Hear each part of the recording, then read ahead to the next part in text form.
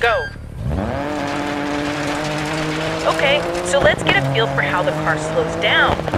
Back off the gas and you'll see how it decelerates. Once you're done, get back up to speed. We've got a corner coming up.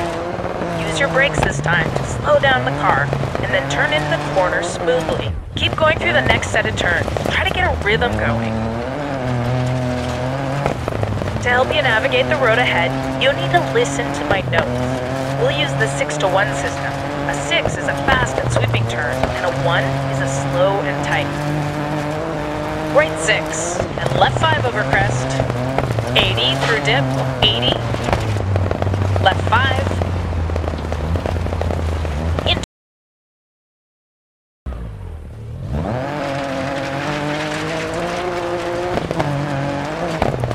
Into right 5. Dip. Crest. A couple of other descriptors you might hear are square, hairpin, and acute. For these corners, you may want to use the handbrake. Try it out at the junction coming up. Dip right 5, crest, turn, hairpin left, bumps 60.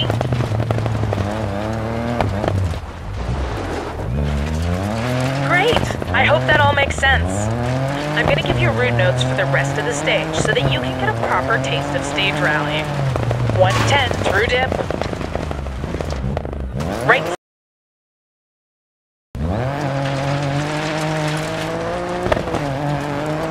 Caution, crest, jump maybe.